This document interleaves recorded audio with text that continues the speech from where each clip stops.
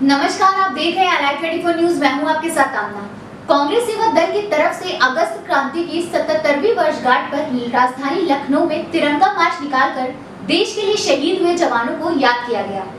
ये मार्च लखनऊ के कांग्रेस कार्यालय से होते हुए हजरतगंज जीपीओ पार्क से परिवर्तन चौक नेता सुभाष चंद्र बोस पार्क तक निकाला गया।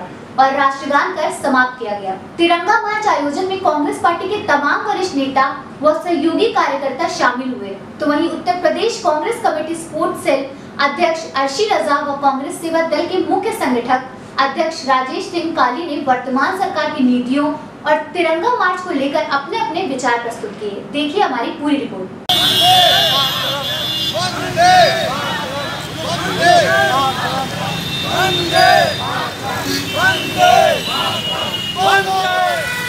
इस कांग्रेस पार्टी ने आज़ादी की लड़ाई में महत्वपूर्ण भूमिका अदा की है।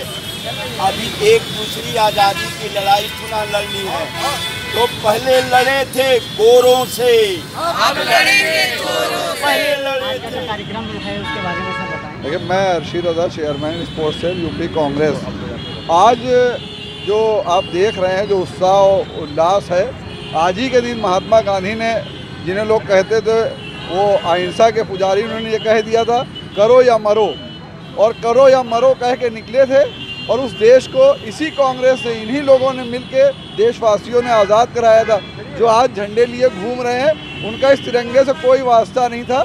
आज अगर उन्हें देखना है तो आज से लेके आप 15 अगस्त तक देखेंगे तो आपको जो देश से प्रेम करने वाले हैं देश को चाहने वाले लोग हैं वो तिरंगा लिए थे अभी तक जो दिख रहे थे वो सिर्फ़ अपनी राजनीति चमका रहे हैं उन्हें तिरंगा पचास साल तक उन्होंने लगाया नहीं।